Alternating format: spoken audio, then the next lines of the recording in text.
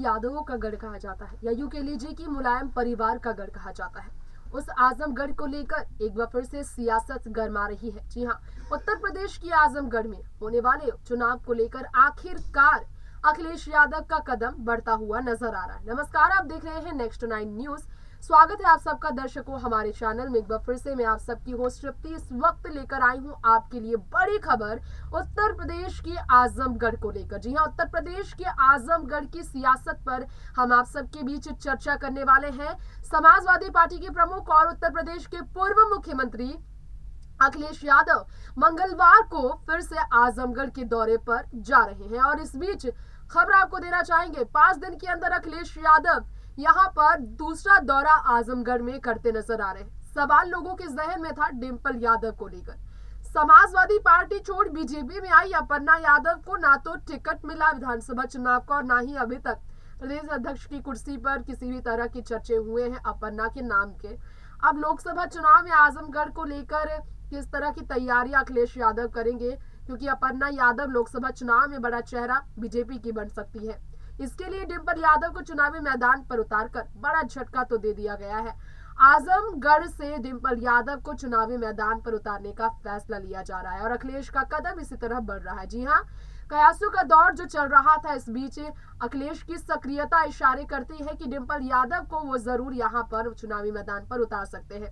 प्राप्त जानकारी के मुताबिक अगर माने तो अखिलेश यादव मंगलवार को डेढ़ बजे राज्य के पूर्व मंत्री ओपी राजभर और यहाँ पर नहीं, माफ़ कीजिएगा, पूर्व मंत्री के साथ साथ विश्वकर्मा के साथ पूर्व विधायक श्याम बहादुर यादव के घर जाने का फैसला ले बैठे। अखिलेश को वहाँ जाने का मकसद शोक संवेदना व्यक्त करना था, लेकिन इसके पीछे सियासत भी बताई जा रही है।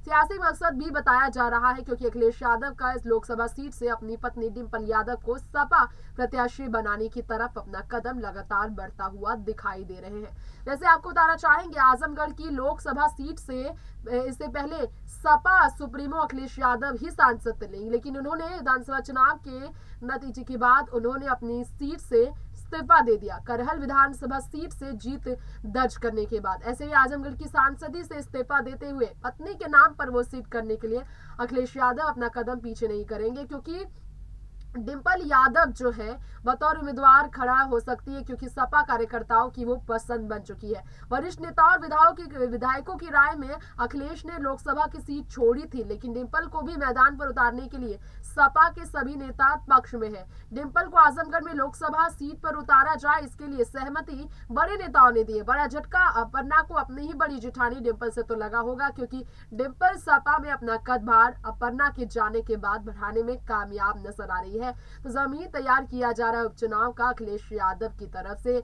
आज के इस खास रिपोर्ट में इतना ही। बाकी तमाम ऐसी ही खबरों के साथ जुड़े रहने के लिए आप देखते रहे नेक्स्ट नाइन न्यूज़। और कमेंट बॉक्स में हमें बताएँ, वाकई में क्या कहना है आपका? लगातार चर्चा, सियासत इसे लेकर जो जारी है, जिस तरह से भारतीय जनता पार्टी के खिलाफ आजमगढ़ से डिम्पल यादव का चुनावी मैदान पर उतरना तय बताया जा रहा है। उसी तरफ़ पन्ना का आजमगढ़ को लेकर कोई चर्चा नहीं है। लेकिन स्टार प्रचारक वो बन सकती है आजमगढ़ उपचुनाव को लेकर डिम्पल के खिलाफ चुनावी मैदान पर अपर्णा यादव स्टार प्रचारक के तौर पर उनका हमला बोल सकती है और इसे लेकर काफ़ी ज़्यादा देखना होगा। सियासत के रंगमंच में दो बहुए मुलायम की जब भिड़ेंगे आपस में अपनी अपनी पार्टियों के पक्ष में। फ़िलहाल लेंगे इजाज़त। नमस्कार।